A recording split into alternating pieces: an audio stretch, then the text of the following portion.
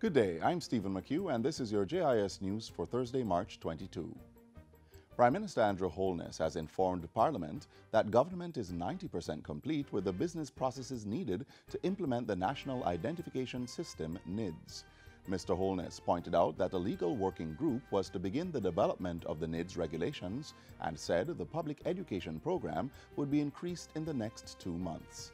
Addressing concerns about funding and privacy of the system, he said the majority of the 68 million US dollar loan would be used to improve the state's ICT infrastructure. Jamaica now leads the region in developing its framework to become a digital society.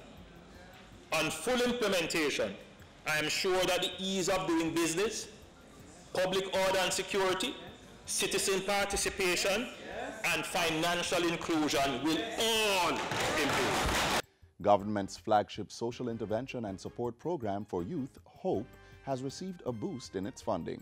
In addition to all ministries receiving budgetary allocations to ensure HOPE trainees are engaged, the Development Bank of Jamaica has issued $60 million to increase the program's training and placement across the island.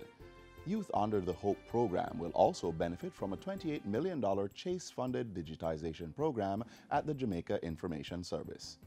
This project will employ persons from the HOPE program who will be trained in media archive management skills and intellectual property management. This will not only provide our young people with marketable skills and experience that makes them more employable, but it will open up opportunities for innovation and players in the creative industry to use print and electronic material that will promote Jamaica. The National Security Ministry has given the Jamaica Constabulary Force another 42 motorcycles and 19 motorcars to do its job. The motorcycles, which cost $44 million, will be assigned to the Traffic Division, while the cars were bought at a cost of $60 million for the Criminal Investigation Branch.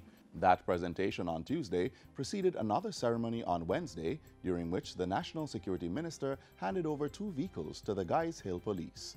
A new television was also purchased for the station. Because we want to slowly begin to fix up the stations, not only for the community, but also for the officers who serve from the station. At the ceremony, Minister Montague provided an update on the state of public emergency in St. Catherine North, which he said had so far led to 332 persons being detained. We still have 33 persons at Tamarind Farm being detained and being processed. And we have recovered one gun and 10 rounds of ammunition, and the operations continue. Government has given approval for the Passport Immigration and Citizenship Agency, PICA, to go ahead with the implementation of the online passport application facility.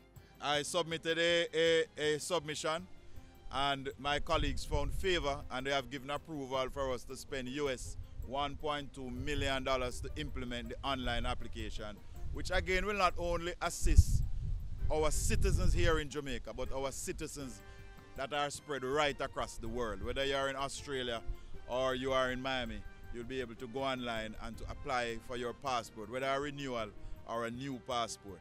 The security minister was at PICA's Constant Spring Road offices on Tuesday to present the agency with a new Mitsubishi Rosa bus. The $9.8 million vehicle will be used to take PICA's services to citizens in their communities. This unit will go into the hills and valleys, into the communities. Rather than the people come to PICA, the, the, the drive is to get PICA to the people. Nurses and teachers have agreed to accept government's offer to pay 5% of retroactive salaries for the 2017-2018 financial year.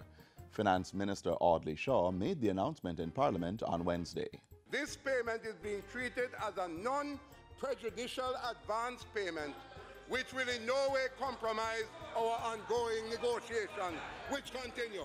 He has urged the Police Federation to also accept the retroactive payments, which he insists does not bind them to the 16% over four years already agreed to by some public sector unions.